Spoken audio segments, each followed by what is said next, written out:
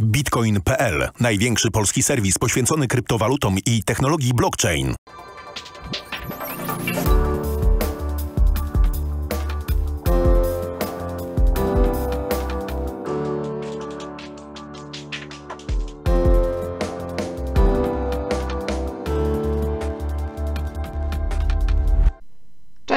Witam Cię bardzo serdecznie w kolejnym odcinku analizy technicznej kryptowalut. Kryptowalut, które to Wy zaproponowaliście w komentarzach pod ubiegłotygodniowym odcinkiem. Tak więc, jeżeli już teraz wiesz, że chciałbyś, chciałabyś, abyśmy w przyszłym tygodniu, w przyszłą środę przeanalizowali dla Ciebie jakiś konkretny projekt, jakąś konkretną kryptowalutę, to zostaw nam proszę komentarz pod tym dzisiejszym odcinkiem na YouTubie na kanale Kryptoraportu. To dla nas bardzo ważne, bo pomaga nam rozwijać ten projekt i mamy nadzieję, że dzięki temu analizy trafiają właśnie w Wasz gust.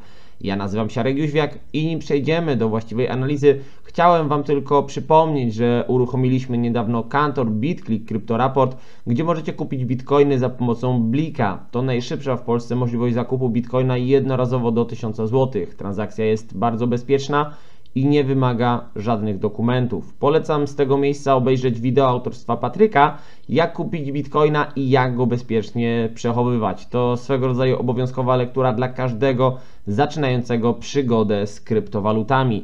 I jeszcze jeden news, y, jedna wiadomość, którą chciałem się z Wami podzielić, a mianowicie już 27 i 28 marca odbędzie się szósta edycja konferencji InvestCavs, konferencji, która corocznie odbywa się w Krakowie w Centrum Kongresowym ICE i dokładnie tak samo będzie również w tym tygodniu. To jest ostatni weekend marca, piątek i sobota. Na stronie investcavs.pl yy, możecie przeczytać dokładnie, dlaczego warto wziąć udział w tym wydarzeniu, zobaczyć sylwetki prelegentów. Tu oczywiście jest już ich kilkudziesięciu, natomiast to w dalszym ciągu nie są wszyscy. Ta strona jest aktualizowana niemal każdego dnia i niemal każdego dnia pojawiają się nowi prelegenci. Udział oczywiście bezpłatny, są płatne wersje biletów, takie jak Light, które zapewniają lunch trakcie konferencji czy bilety VIP-owskie. Natomiast ogólnie rzecz biorąc, udział w samym evencie i możliwość wzięcia udziału we wszystkich wykładach jest bezpłatna. Jedyne co należy zrobić, to zarejestrować się na stronie, klikając e, w tym miejscu zarejestruj się i w ten sposób podajemy dane i na maila otrzymujemy e, bilet. Także zachęcam, myślę, że warto wziąć udział, bo to jest jedno z największych wydarzeń w Europie Środkowo-Wschodniej dedykowane dla inwestorów. Organizatorzy szacują, że w tym roku udział w nim weźmie 5000 osób. E, oczywiście to nie jest tylko i wyłącznie rynek kapitałowy, jest bardzo dużo wykładów dotyczących właśnie rynku kryptowalut, debaty e, dotyczące rynku kryptowalut, wystawcy z rynku kryptowalut, więc wydaje mi się, że warto wziąć udział. Natomiast nie przeciągajmy już i przejdźmy sobie do tego, co dla Was najistotniejsze, czyli do analizy. I standardowo rozpoczynamy to dzisiejsze spotkanie od analizy Bitcoina. E, od analizy Bitcoina, który jakby nie patrzeć, zachowywał się na przestrzeni ostatniego tygodnia, może nawet nieco ponad tygodnia, w dość zaskakujący sposób. Dlaczego? Dlatego, że dotychczas, e, szczególnie z początkiem tego roku, w sieci zaczęły pojawiać się takie informacje, wypowiedzi ekspertów wskazujące, że Bitcoin zaczął być postrzegany przez e, spekulantów, przez inwestorów jako aktywo safe haven, jako tak zwana bezpieczna przystań, do której kapitał będzie się przenosił w czasach kryzysu, w czasach gorszych dla rynków e, tradycyjnych, rynków finansowych, rynków kapitałowych. Natomiast co się okazuje, w minionym tygodniu mieliśmy bardzo silną wyprzedaż na niemal wszystkich rynkach kapitałowych, spadały światowe indeksy, e, amerykański Dow Jones, Nasdaq, S&P 500, niemiecki DAX, polski WIG, australijski AUS 200, e, brytyjski indeks, wszystkie tak naprawdę światowe największe indeksy notowały ponadprzeciętne spadki. Były to największe spadki od czasu wielkiego kryzysu finansowego z końcówki 2008 roku. No i co się okazuje? Czasach, kiedy mieliśmy panikę na rynku, Bitcoin wcale na tym nie zyskał, wręcz przeciwnie. Na notowaniach Bitcoina również dostrzec można było dość zauważalne spadki, więc czy Bitcoin stał się tą e, bezpieczną przystanią? Biorąc pod uwagę to, co wydarzyło się na przestrzeni minionego tygodnia, zaryzykować trzeba stwierdzenie, że chyba nie do końca. E, I teraz co się wydarzyło? Wskutek tych spadków notowania Bitcoina pokonały dwa techniczne poziomy wsparcia. Pierwszy to była strefa pomiędzy 9550 a 9400 dolarów. Drugi to było techniczne wsparcie w wysokości 9050 dolarów. Mimo, że te spadki nie dotarły wcale jakoś super precyzyjnie w okolice kolejnej strefy, czyli 8250, no to z początkiem e, miesiąca marca obserwujemy tutaj e, niewielkie wzrosty. No i tak naprawdę te wzrosty mogłyby być w najbliższym czasie jeszcze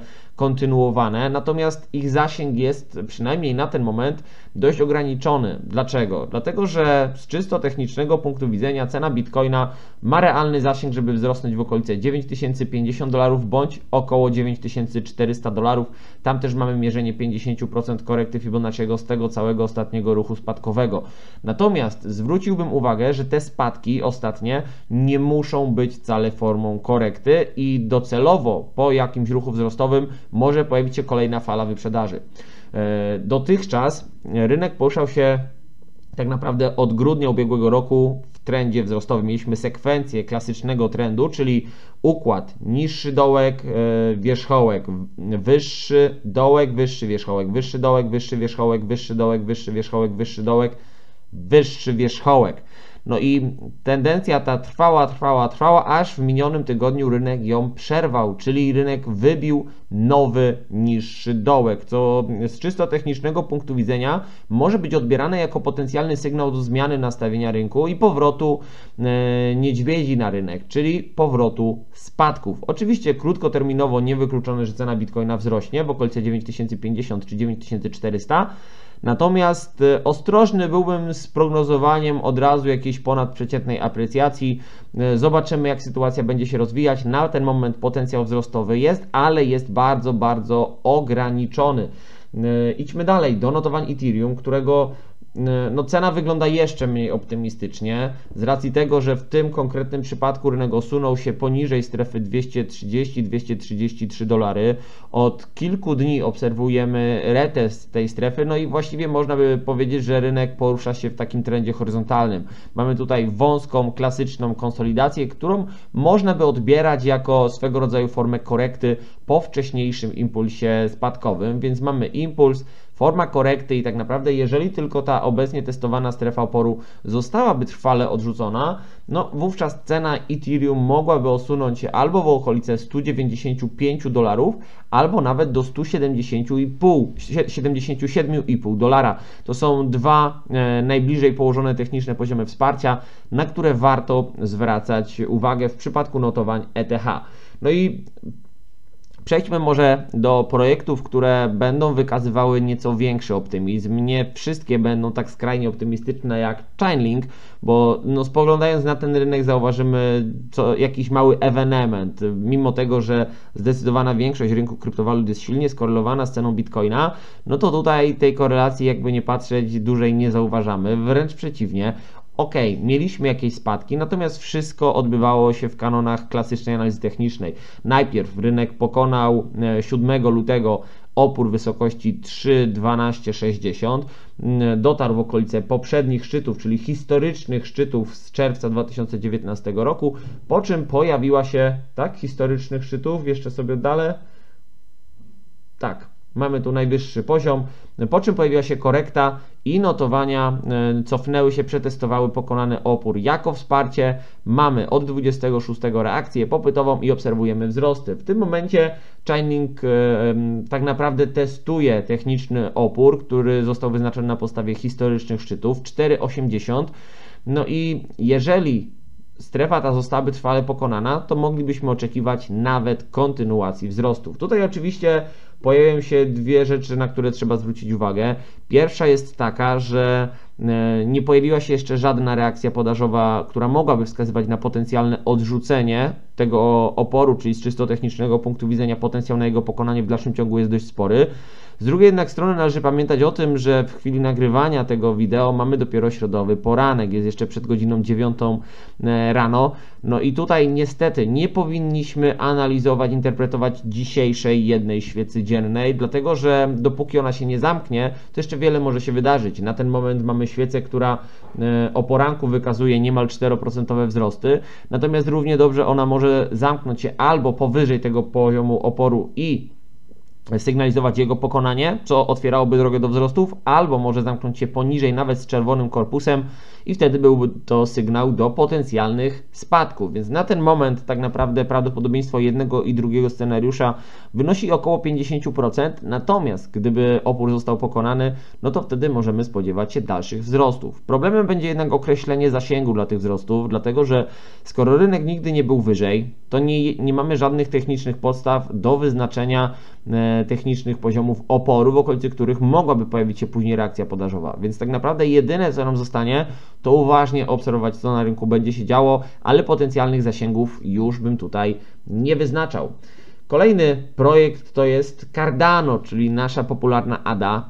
W tym przypadku również obserwowaliśmy dość dynamiczne spadki na przestrzeni ostatnich dni, czy nawet tygodni, można by tu rzec, bo deprecjacja rozpoczęła się z połową lutego. No i tak naprawdę w wyniku tych spadków najpierw notowania Cardano osunęły się poniżej baryry 5,5 centa i dotarły finalnie w okolice 4,5 centa. To był techniczny poziom, który w przeszłości był testowany jako opór, teraz jest testowany jako wsparcie. Widzimy, że w jego okolicy e, z początkiem tego tygodnia, w e, poniedziałek dokładnie pojawiła się większa reakcja popytowa. Co prawda wtorkowa sesja zaliczyła niewielkie spadki, natomiast w środę poranków znów obserwujemy wzrosty. No jeżeli ta tendencja będzie kontynuowana, to nic nie stoi na przeszkodzie, w mojej ocenie, żeby cena Cardano dotarła w okolice baryry 5,5 centa i dodatkowo mierzenia 38,2% korekty Fibonacciego. Warto zwrócić jednak uwagę, że mm, ten ruch wzrostowy, on nie musi sygnalizować zmiany nastawienia rynku, powrotu do długotrwałych wzrostów. On może być odebrany przez rynek nawet jako forma korekty, czyli mamy jakiś impuls, korektę, impuls, E, nieco większą korektę i tak naprawdę w okolicy 5,5 centa znów mogłaby pojawić się reakcja podażowa, więc krótkoterminowo potencjał wzrostowy na notowaniach Cardano jak najbardziej ja tutaj dostrzegam, natomiast nie jest to potencjał długoterminowy, przynajmniej na ten moment. Na ten moment realny zasięg to jest 5,5 centa i gdybyśmy mieli sobie to e, zmierzyć, to daje nam to dokładnie 9,7%, czyli niecałe 10% potencjalnego ruchu wzrostowego. Idźmy dalej. Lumen, Stellar Lumen, projekt, który wygląda bardzo podobnie jak Cardano, zresztą kilka kolejnych również będzie e, wykazywało podobne tendencje. No i spoglądając sobie na e, Stellara, zauważymy, że rynek dotarł w okolice strefy. Tutaj mam dwa poziomy. Jeden to jest 5,2 centa, drugi to jest 5,5 centa. I tak naprawdę, biorąc pod uwagę ich bliskość, potraktowałbym to jako jedną większą strefę, a nie jako dwa osobne e, poziomy. Widzimy, że podobnie jak na notowaniach e, Cardano, tu również w poniedziałek pojawiła się reakcja popytowa. Dziś o poranku też obserwujemy wzrosty i no, jeżeli ta tendencja będzie kontynuowana, to notowania mogłyby wzrosnąć w okolice 6,6-6,7 e, centa, czyli technicznego poziomu oporu, który był już testowany w przeszłości jako wsparcie i jako opór, tu też jako opór, a tu jako wsparcie. On podobnie jak na notowaniach Cardano zbiega się z technicznym mierzeniem Fibonacciego, mierzeniem 38,2 Natomiast to, na co trzeba zwrócić uwagę, to to, że e, jeżeli te wzrosty tu dotrą i w tym miejscu pojawi się większa reakcja podażowa, to tak naprawdę mogłoby dojść do powstania tutaj prospadkowej formacji głowy z ramionami, gdzie to by było lewe ramię, to by była głowa, tu potencjalne prawe ramię, więc jeżeli pojawią się spadki, to jest linia szyi, której wybicie mogłoby otworzyć drogę do jeszcze większej deprecjacji. W komentarzach pod ubiegłotygodniową analizą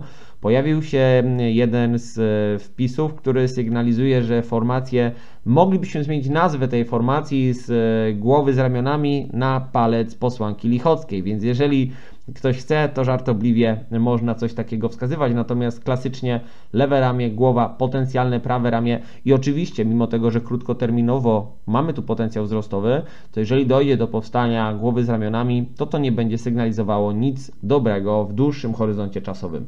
Idźmy dalej, do notowań Trona, TRX i tu sytuacja wygląda znowu bardzo, bardzo podobnie z racji tego, że rynek osunął się e, w okolice lokalnej strefy wsparcia, gdzieś na poziomie 1,6 centa, nieco e, e, nieco powyżej. Poziom, który był testowany w przeszłości jako opór, później był testowany jako wsparcie, teraz też jest testowany jako wsparcie. No i od 27 lutego obserwujemy tutaj spokojne wzrosty. Jeżeli ta tendencja będzie kontynuowana, to notowania TRX mogłyby dotrzeć w okolice 1,8 centa, czyli na wykresie jest to poziom 0,0183 u mnie dokładnie. Bariera, która była testowana w przyszłości jako opór, jako wsparcie, znowu jako opór, jeszcze raz jako wsparcie, tu została pokonana, więc tak naprawdę czas na jej retest. To jest najbliżej położony poziom, na który warto by było zwracać uwagę. Ewentualnie, gdyby te wzrosty były nieco większe, no to rynek mógłby dotrzeć gdzieś w okolice bariery 1,9 e, e, centa, czy niespełna 2 centy, czyli 0,0196. To też by był taki lokalny poziom, na który ewentualnie warto było zwracać uwagę.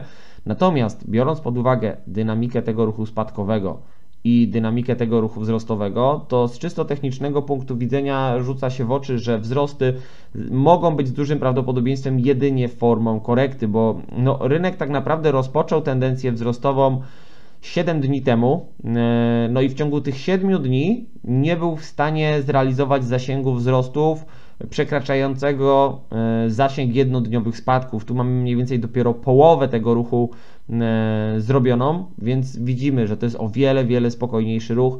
To bym traktował jako impuls, to bym traktował jako korektę. No i tu na upartego też można by się dopatrywać. Lewe ramię, głowa, potencjalne prawe ramię. To jest linia szyi. Jeżeli ona zostanie wybita, to tak naprawdę notowania Trona mogłyby osunąć się jeszcze niżej, przynajmniej w okolice 0,0119, czyli w okolice poprzednich dołków. Idźmy dalej. IOTA. IOTA to jest projekt, który e, tak naprawdę już znalazł się w okolicy technicznego oporu, tak jak e, wspominany przed chwilą, czy to Cardano, czy Stellar, czy Tron, tamten potencjał wzrostowy jeszcze większy bądź mniejszy był, na notowaniach IoT, no tu już sytuacja wygląda różnie. Z jednej strony dalej możemy dostrzec potencjał wzrostowy, natomiast żeby on mógł zostać zrealizowany, to rynek najpierw musiałby pokonać obecnie testowany poziom, poziom w wysokości 22 e, centów, nieco powyżej, to jest u mnie na wykresie 0,2266, poziom, który był testowany jako wsparcie już w połowie sierpnia, i w pierwszej połowie września ubiegłego roku, później był jeszcze testowany tutaj w styczniu bieżącego roku jako wsparcie, a teraz jest testowany jako opór. Oczywiście, jeżeli on zostanie pokonany, bo takie prawdopodobieństwo też musimy brać pod uwagę, no to notowania IOTy mogłyby dotrzeć w okolice pokonanego 25 lutego poziomu wsparcia, teraz oporu w wysokości 0,2530, czyli nieco powyżej 25 centów.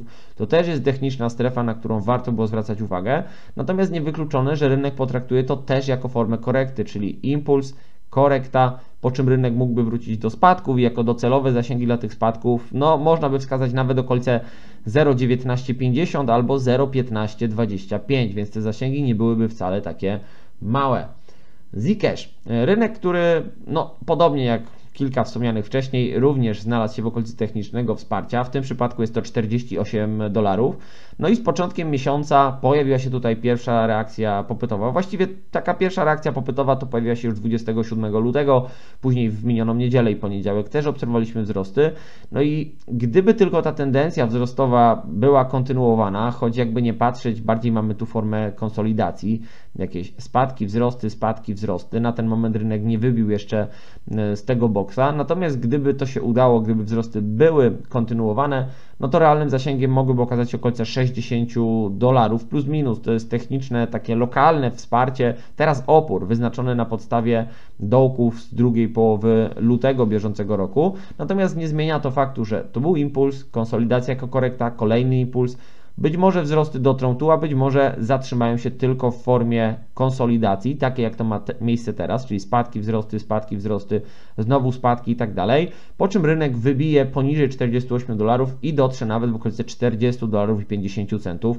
Tu warto zwrócić uwagę, że to jest poziom, który mimo tego, że pokonany został już 14 stycznia, to w dalszym ciągu nie został jeszcze przetestowany od drugiej strony, czyli jako poziom wsparcia. Musimy pamiętać o tym, że na rynkach istnieje coś takiego jak zasada zmiany biegunów, która mówi o tym, że poziom, który w przeszłości był testowany jako opór, po pokonaniu powinien zostać przetestowany od drugiej strony, czyli jako wsparcie, co poniekąd mogłoby determinować potencjalny ruch spadkowy na notowaniach Zikesha.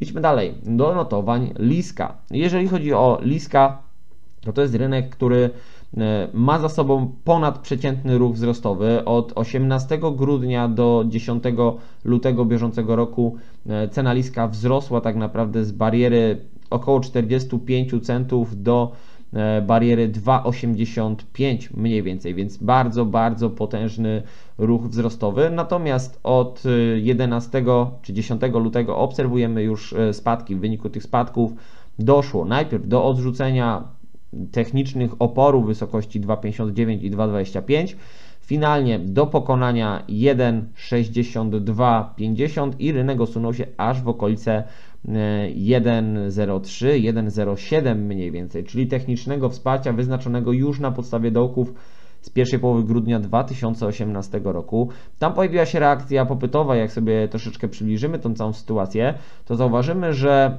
kontynuacja wzrostów mogłaby doprowadzić do ponownego przetestowania bariery 1,6250. To jest też poziom, który w przeszłości był testowany wielokrotnie jako opór i jako wsparcie.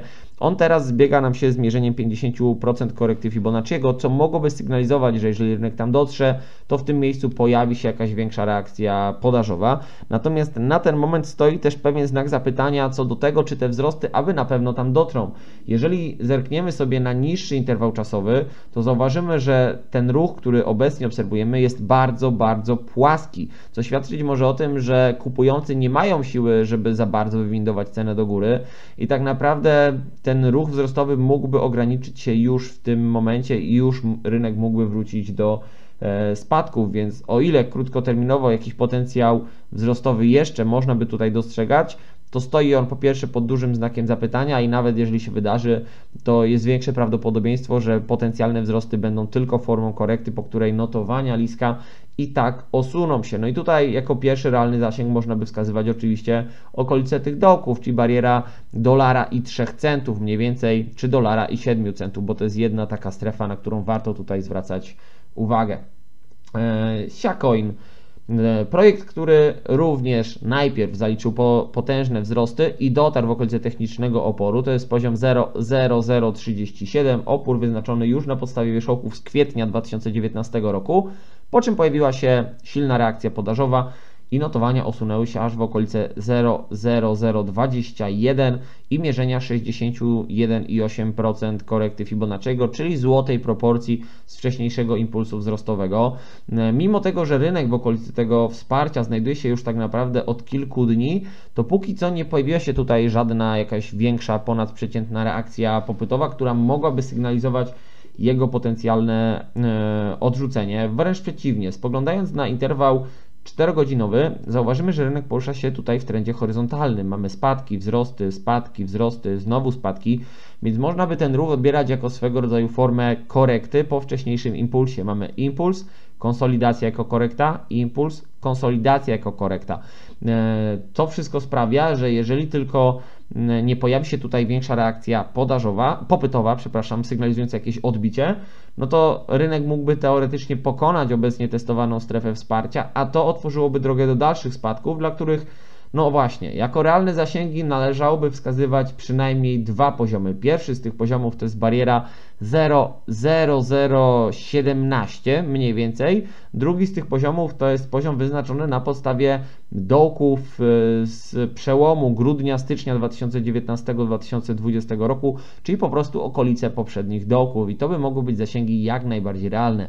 Więc e, ta sytuacja nie wygląda tutaj wcale zbyt e, optymistycznie i na koniec żeby e, zakończyć to dzisiejsze spotkanie nieco bardziej optymistycznym akcentem, mamy Chilis, projekt, który e, ok, zaliczył w ostatnim czasie spadki, spadki wskutek czego doszło najpierw do odrzucenia technicznego oporu, później doszło do pokonania technicznego wsparcia i finalnie rynek dotarł aż w okolice kolejnego technicznego wsparcia nieco powyżej 1 centa. Natomiast od kilku dni obserwujemy tutaj wzrosty, no i ja wiem i już o tym mówiłem, że dzisiejszej świecy nie powinniśmy póki co jeszcze interpretować, bo ona się jeszcze nie zakończyła. Natomiast na ten moment wygląda to dość e, optymistycznie z racji tego, że rynek próbuje pokonać techniczny opór wysokości 0,0125, czyli wysokości 1,25 e, centa. To był poziom, który był testowany jako opór tak naprawdę już we wrześniu 2019 roku, w październiku 2019 roku, później w listopadzie był testowany jako wsparcie. E, pod koniec listopada był testowany jako opór, tu znowu był testowany jako wsparcie, teraz jako opór. Jeżeli on zostanie trwale pokonany, trwale wybity, no to właściwie nic nie stanie na przeszkodzie, chyba żeby rynek dotarł w okolice e, bariery poprzednich szczytów, czyli 0,0175, a gdyby ten opór został pokonany, no to wtedy to the moon. Tak naprawdę ciężko będzie określić jakikolwiek inny techniczny opór, gdzie rynek mógłby się zatrzymać. Więc tutaj sytuacja wygląda mm, o wiele, wiele bardziej optymistycznie. Oczywiście należy jeszcze poczekać na zamknięcie się dzisiejszej świecy, bo dopiero zamknięcie się powyżej mm, obecnie testowanego oporu mogłoby nam sygnalizować potencjał do wzrostu. Więc e, tym pozytywnym akcentem kończymy to dzisiejsze spotkanie. Oczywiście, jeżeli analizy Wam się podobały, to koniecznie zostawcie łapkę w górę, subskrybujcie kanał Kryptoraportu i zostawcie nam w komentarzach informacje, jakie konkretnie kryptowaluty, jakie projekty mamy przeanalizować dla Was za tydzień. Ja za dziś serdecznie dziękuję, życzę spokojnego tygodnia i do usłyszenia w przyszłą środę. Trzymajcie się, cześć!